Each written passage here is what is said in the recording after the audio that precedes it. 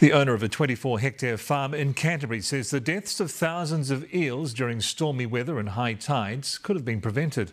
The eels washed up at Southbridge near Lake Ellesmere, 60 kilometres from Christchurch.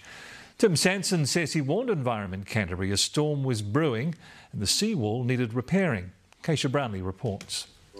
Thousands of eels. This is all the eels that were trying to migrate. Left high and dry, many of them for dead. To have to see those eels perish the way they did was um, not a very nice experience at all. You know, especially not for them, but it was uh, it was pretty shit to watch and really, really disappointing. The eels were stranded during stormy weather and a high tide at the start of the week. I pulled 140 long fins out. Couldn't save them all.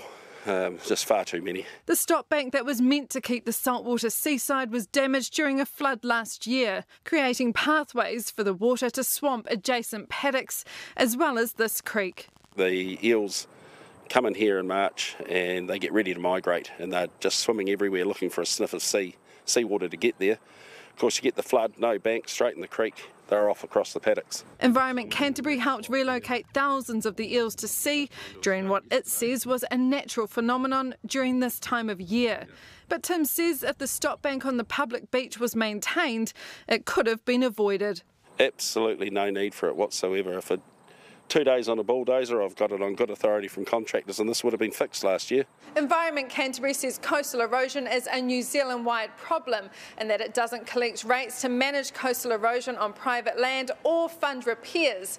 It's still unclear whose problem it is to solve, but Tim Sanson at least has a solution. Reinstate the bank all the way down here, straighten the creek a wee bit down the bottom, no problem. Until then, stranded eels will move from life cycle to food chain. Kaysha Brownlie, News Hub.